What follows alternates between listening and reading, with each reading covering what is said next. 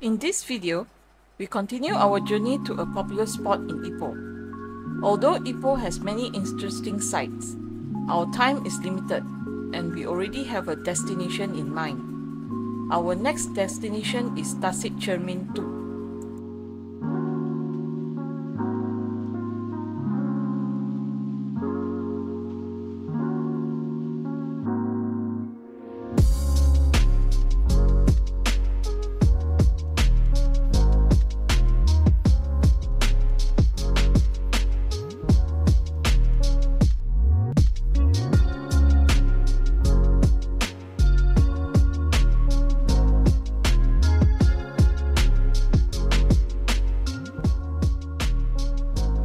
There are two Tasik Cermins or mirror lakes located behind a commercial area near Gunung Rapat. As you enter the area, Tasik Cermin 2 will be the first mirror lake you come to.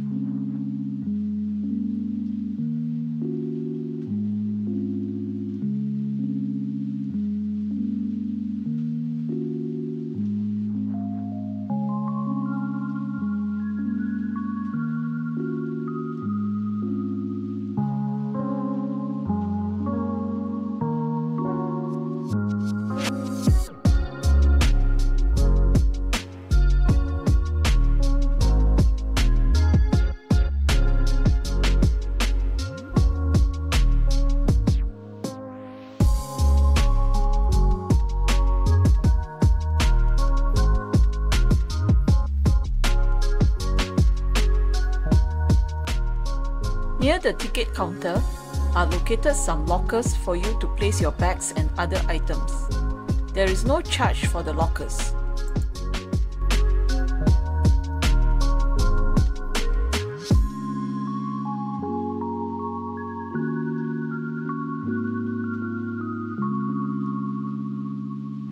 There is a nice cafe just next to the lake.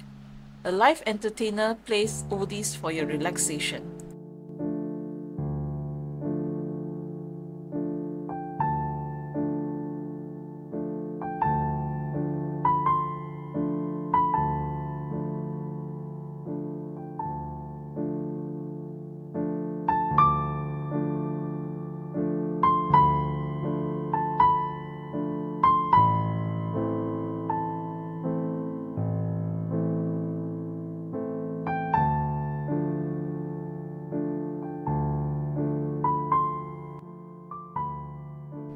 When it is your turn to board the boat, someone will call your name and pass you the life jackets. Each boat will have 8 passengers and a pilot.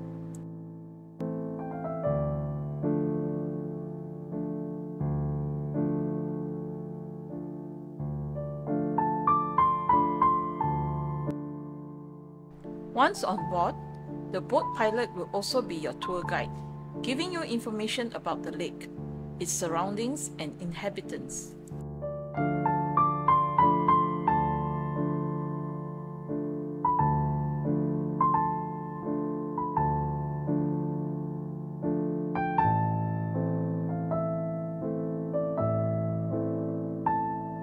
binatang-binatang yang kambing berlawa dengan memerah. Memerah Ah. air. Ha, ni memang susah nak nampak dia orang lah Ah. lagi waktu time macam sini tengah ramai orang biji kan. Oh, so dia orang sembunyi lah. ha betul. Susah nak nampak dia orang dan nampak dia orang pada hari biasa je lah. Ah. tengok mata kambing There are a lot of boats on the lake, so you probably have to wait until the long tunnel is clear before you can get to the other side. kan ini buatan Oh, buatan. Ah, buatan. Sebabnya kita masuk kawasan ni kawasan tapak pelembungan biji timah dan biji besi. Oh, Sikuan dengan terowong. tiekua. Ah.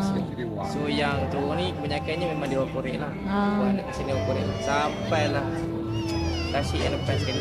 Sama juga. Yang ni pun sama. Oh. Korek juga. So dulu sini ada macam dia orang korek kiranya- timah. Ah, ya betul. Sebab ini sebenarnya lalu untuk orang keluar masuk keluar masuk. Oh untuk ambil Ah, timah. ya. Tapi masa dia orang korek kat sini, kawasan ni memang tak ada air. Oh. Kawasan yang kering gontang tu. Ah. Tapi disebabkan tempat dia dalam bertinggal, dalam terbiar. Lebih kurang dalam 150 tahun. Oh. Sama-sama British sini. So bila dah terbiar macam ni, orang tak jaga. Hmm. Bila hujan, dengan support lagi air bawah tanah ni, Ah. kawasan Takungan lah. Takungan air lah. Hmm. So memang air ni dia tak kira gimana Melainkan kalau kita orang buka longkang Yes Oh yang tu lah. Ah. Itu pun kita orang buat longkang Kalau tidak kat sini memang tak ada longkang Oh. Memang setiap kali kalau hujan Kawasan ni mesti akan banjir Oh. Memang akan Banjir. banjir, Ya. Ah. Sebab air daripada atas dia turun ke bawah Ah, ah. So yang bawah ni tak boleh kita Ah. Dia akan stay sini Oh. happening. Depend pada cuaca. Musim panas dia akan Kering lah. Kering sikit lah Dia tak kering banyak Kering sikit lah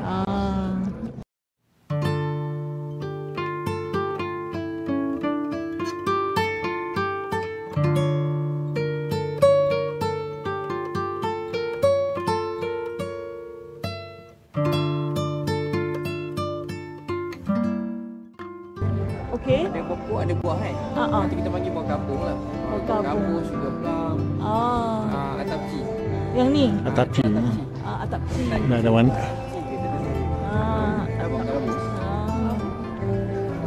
Biasa ini kan Dia tak ABC Ah. Ah. Oh, yang tu situ. Ah, Buah tu. Ah. There. Ni lah This black lah. fruit on top here. Oh, lagi the one like plum, like the palm oil like that. Ah. Ah. Dia dah nak masak tu Atapci. And Dia gatal sikit lah Oh. Sebab tu lah bunyi pun Jarang sekali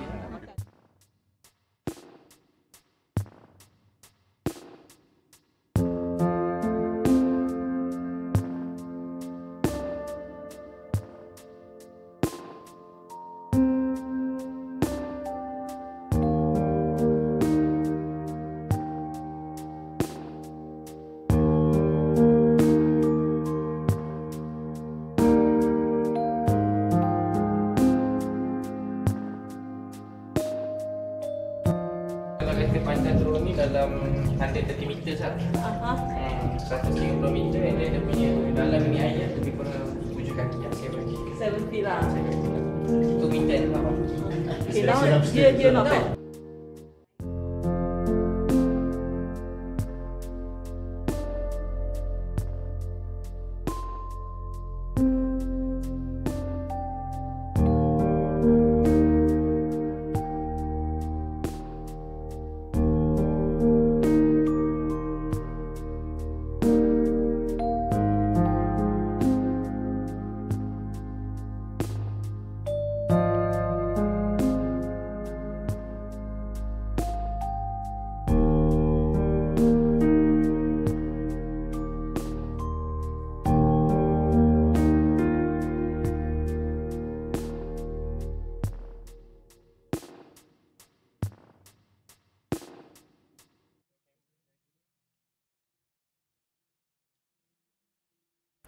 The reflection in the water is the reason why this is called a mirror lake. If you come at a certain time, the whole lake mirrors the surroundings. Okay guys, welcome to Mirror Lake 2 Selamat datang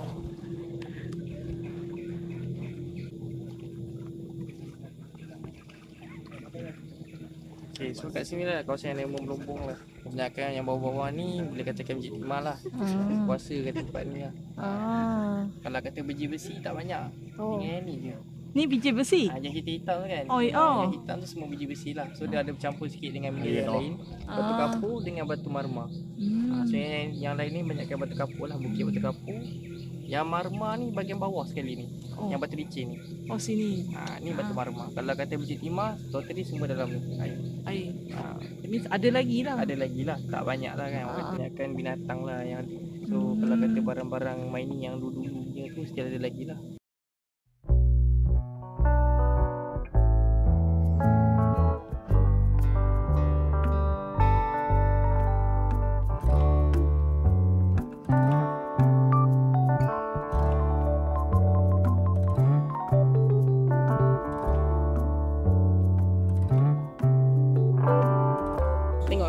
Satu lubang kan. Lubang tu lah banyak kain kelawar. Oh situ. Ada. Oh. Nampak? Ah,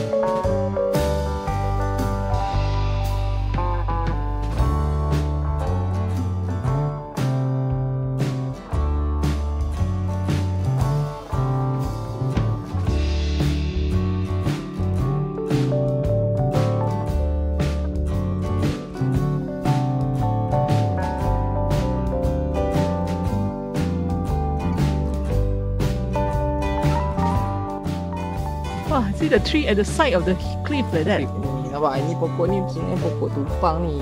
Dia asal Oh. pokok-pokok biasa tapi dia sebenarnya ni kita panggil macam pokok parasite tau. Oh. Ha, dia parasite kat pokok lain tu yang dia boleh tumbuh daripada akar bawah ni sampai lah kat atas. Hmm. So kiranya separuh badan dia duduk dalam batu, separuh lagi duduk kat luar. Dia dah Ah. bercantum dengan batu. Oh. Ha. Kalau ikutkan nama ni, kita biasa kita panggil nama ni pokok ara. Kok ara. Ha, pokok ara. Ada Sebuah- kegunaan. Ada banyak kegunaan. Lelaki Oh. sini Ha, daripada akar, kayu, daun, semua ni boleh buat makan lah, buat buat ubat orang kata lah. Oh. lah. Orang kata lah. Ah. Banyak hasil dia daripada buah ni. Buah ni semua makan ikan. Oh, ada buah. Ada ni buah ada buah. Ah. Macam buah pala kan. Oh. Dah tengok buah pala? Hmm. Ha, ada buah-buah macam ni kan. Ah. Kalau kena masak tu, put jatuh ikan-ikan dalam ni dia akan makan. Makan lah. Lah semua semua makanan dia. Hmm. Hmm. Pating ke, jelawat ke. Ada Ah. pating ke? Ada.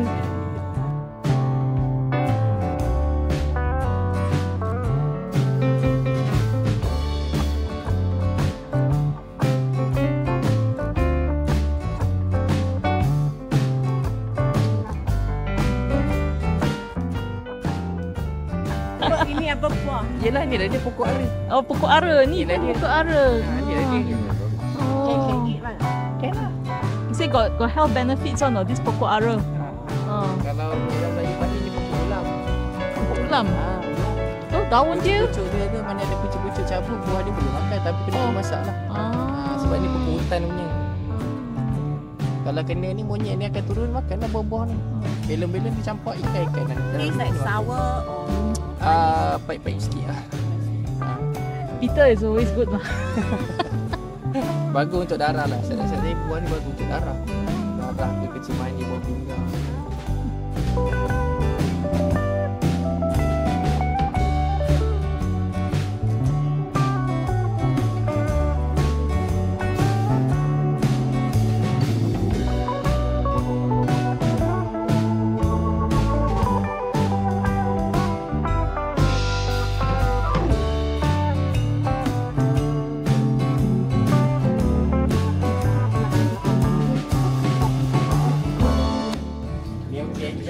Kalau kata hujan lebat.